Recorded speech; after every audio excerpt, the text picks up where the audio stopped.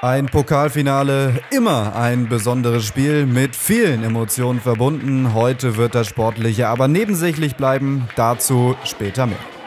Die TS Oberroden empfängt die Offenbacher Kickers im U19 Hessen-Pokalfinale in Dieburg. Beste Voraussetzungen bei sommerlichen 28 Grad. Schiedsrichter der Partie Christian Vogel. Er wird unterstützt von Dennis Weber und Nils Irich.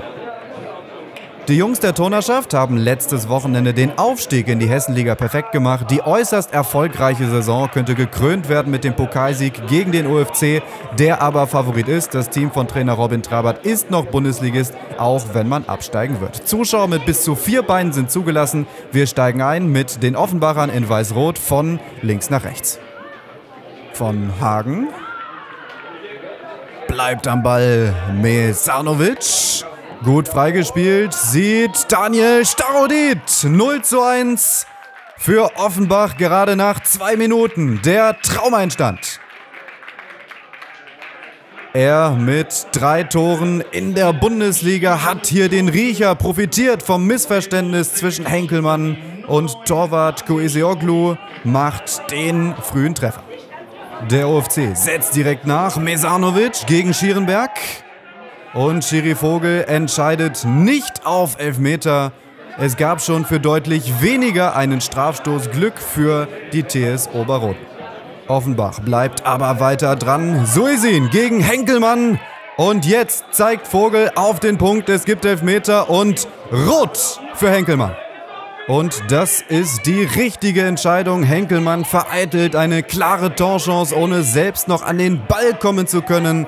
Es wirkt hart, aber wenn Vogel hier pfeift, muss er den Platzverweis erteilen. Mahmouti gegen Koesioglu. Souverän verwandelt. Offenbach führt nach neun Minuten mit 0 zu 2. Leon Mahmouti, sein Treffer doppelt bitter für die TS Oberroden, die jetzt auch noch in Unterzahl weitermachen muss. Und die Offenbacher ohnehin schon sehr dominant. Die nächste Chance nach einer Ecke durch Mesanovic. Diesmal reicht es aber nicht für einen Treffer. Put Platz im Mittelfeld. Mesanovic technisch elegant auf Staudit. Und der sieht in der Mitte Mrvey 0 zu 3 für Offenbach nach 15 gespielten Minuten.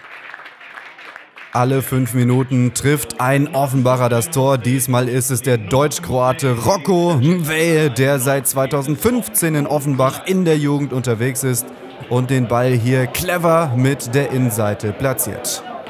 Die TS kommt jetzt auch mal nach vorne mit Savas und Czernovel Sanin der sich da gut durchsetzt, noch abgeblockt wird. Es gibt aber noch die Chance für Luca Zerfas, der aber direkt in die Arme von Keeper Stritter. Der noch Verbandsligist tut sich sehr schwer gegen die Offenbacher mit Mesanovic.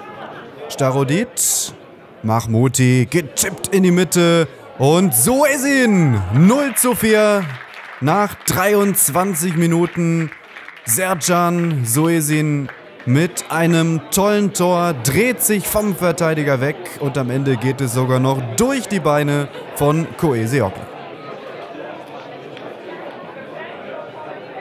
Immerhin, die Zuschauer bekommen einiges präsentiert in diesem Finale. Mahmouti Dao mit dem Hackenpass für Mesanovic. Er hat inzwischen wirklich einen Treffer verdient, es soll aber noch nicht sein.